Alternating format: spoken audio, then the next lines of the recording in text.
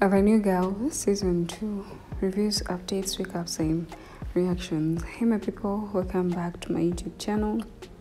I'm Latifa, and this is Nollywood Cinematic TV for your latest trending Nollywood movie reviews, updates, alerts, and recaps. Alright, I'm back with The New Girl. Like promised, Season 2 is already out on Yawa Skits YouTube channel for you that haven't yet watched it. Anyways, hope you're good and i would like you to subscribe here for more interesting movies uh movie reactions and alerts so like you know we last saw when um when TK had got some issues, he would bang to the head after him being like trying the friends from abducting Amanda and he was beaten. So after him returning from the hospital, he went to see Amanda though he was denied access.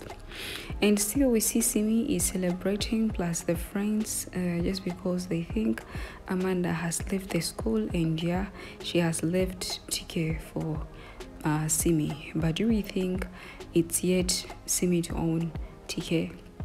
Because according to what we see, uh, yeah, we believe Simi really loves TK, but for TK, it's like he's into Amanda, and Amanda also picked interests and feelings for TK. So I don't know how Simi is going to handle this issue because she, she's putting much effort, she's putting her entire energy in this thing, but it's like she's just wasting her time. According to what I see, Amanda loves TK and TK has uh, feels the same because if Amanda wasn't in love with TK, she wouldn't have sneaked out of the house to go and see TK.